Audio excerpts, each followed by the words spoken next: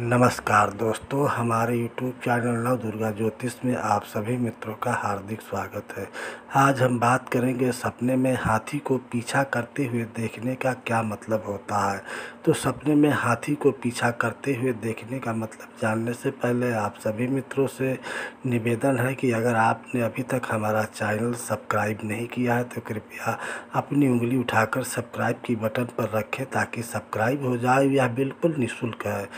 Video आपको अगर पसंद आए तो लाइक अवश्य करें, क्योंकि आपके द्वारा दी हुई लाइक हमारे प्रोत्साहन को बढ़ा देती है। चलो बताते हैं। अगर कोई व्यक्ति अपने सपने में यह देख रहा है कि उसका हाथी या हथनी पीछा कर रही है तो बेहद शुभ सपना है। यह इस बात की ओर आपको इशारा करता है कि बहुत जल्द ही आपके कारोबार में, आपके नौकरी या धंधे में उन्नति होने वाली है। वहाँ से आप अधिक मात्रा में धन को प्राप्त करेंगे। जय माता दी जय श्री कृष्ण धन्यवाद।